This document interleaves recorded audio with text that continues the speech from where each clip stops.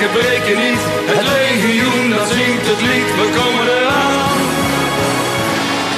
En welkom bij het Oranje Journaal. Het Nederlands elftal heeft zich geplaatst voor het WK komende zomer in Duitsland. Woensdag, morgen, is de gala-wedstrijd. Dat moet het worden tegen Macedonië. En wij zijn hier vandaag in Woerden bij ProBets... waar allemaal fantastisch mooie oranje artikelen worden gemaakt. De oranje gekte moet weer op gang gaan komen in de richting van de zomer. En ook de supporters zijn er al mee bezig. Op allerlei creatieve manieren. Een aantal hoopt dat ze de WK-hit hebben geschreven.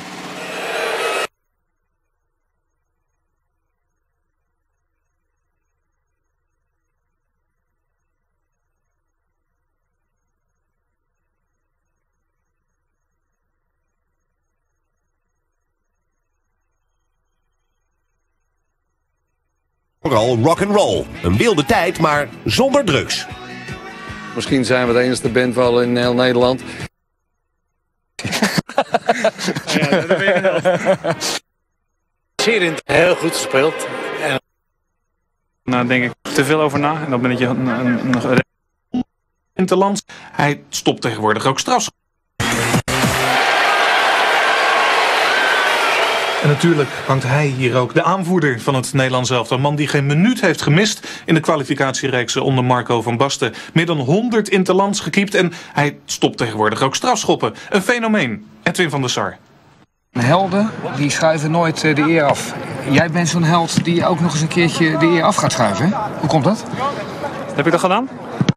Houden, wij willen gewoon winnen. En eh,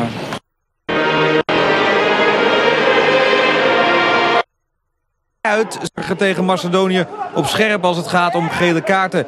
Een dat is ook voor mezelf eh, afgelopen week ook.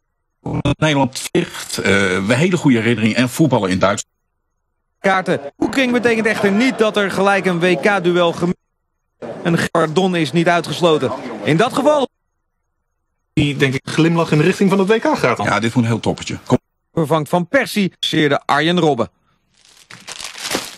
Naast me staat eh, de eigenaar van het bedrijf. Die denk ik met een grote glimlach in de richting van het WK gaat dan. Ja, dit moet een heel toppertje. Komt natuurlijk ook omdat Nederland vlak bij Duitsland ligt. Eh, we hele goede herinnering en voetballen in Duitsland hebben. Toch 74 en eh, zeker 88. Dus nee, dat wordt top hoor. En de beleving is ook positiever. Merkt u dat ook aan de verkoop?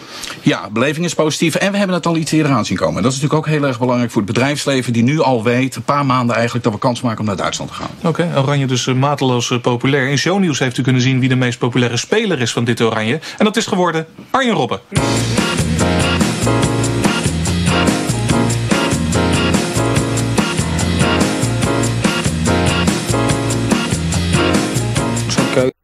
Heel aanvallend. Je kent ons Nederlanders. eh, Twee keer verliezen, dan moet de bondscoach. En de E, hoe meneer naar de Amsterdam Arena toe moet.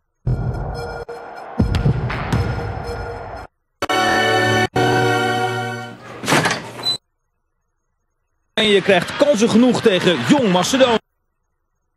Ja, oh, ik had het echt, ik had het eigenlijk niet verwacht, want ik kreeg voor, vorige keer die portemonnee en die pen van hem. En nou, van de week tegen, vorige week tegen hem wacht hij die kaartjes voor me mee.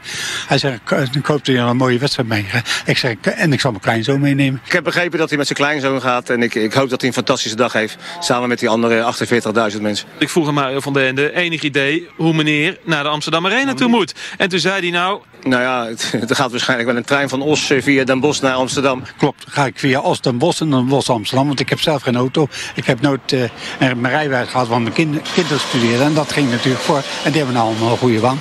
Zodoende heb ik nooit geen auto gereden. Na de reclame, Jong Oranje krijgt kansen.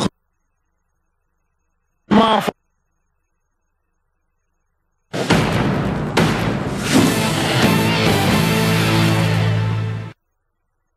Er Gewonnen sowieso de laatste wedstrijden goed gedaan. Ehm, onder 17.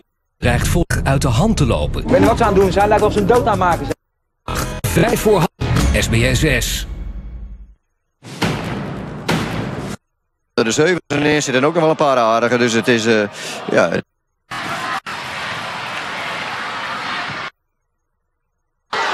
van Tovilowski op het schot van Jenner. Naar de voorzet van de Ridder.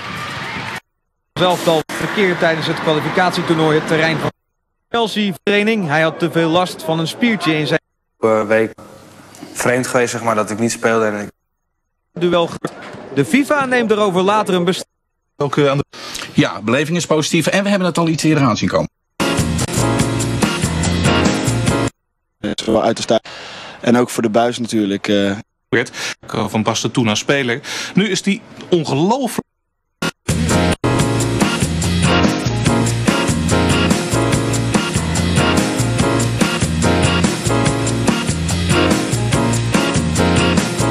Dit vind ik een uh, interessant gedeelte van het bedrijf uh, ProBets, want dit is het creatieve gedeelte. Wat, wat doe jij precies? Ik ben bezig met het uh, nieuwe concept van Holland. Jij ontwerpt zo'n muts, dus de supporters die er zo eentje op hebben, die hebben dat aan jou te danken? Ja. Oké. Okay. Achter jou hangt een uh, heel bijzonder ontwerp, want u herkent het ongetwijfeld. Dat is het shirt waarin uh, Oranje in 88 Europees kampioen werd. Met Marco van Basten toen als speler. Nu is hij ongelooflijk succesvol bezig als bondscoach. 10 gewonnen, één gelijk. Geen bondscoach heeft zich zo makkelijk gekwalificeerd. Ja, Marco, aangezien jij een enorm feestnummer bent, hebben wij begrepen. dat, uh, dat, je die wedstrijd gewoon heel serieus, zakelijk moet oplossen. dat ziet het toch niet. Je wil nog wel aan drinken publiek voor, want de Amsterdam Arena is stijf uitverkocht voor die wedstrijd. Er wordt wel gezegd dat de wedstrijd morgen nergens over gaat, maar daar denkt het Nederlands publiek anders over. Want de Amsterdam Arena is stijf uitverkocht voor die wedstrijd tegen Macedonië. Het moet een groot feest worden. Het stadion zit helemaal vol met ongetwijfeld allemaal mensen die oranje artikelen gaan aantrekken. En een aantal van die supporters heeft wel een hele bijzondere manier gevonden om aan kaartjes te komen.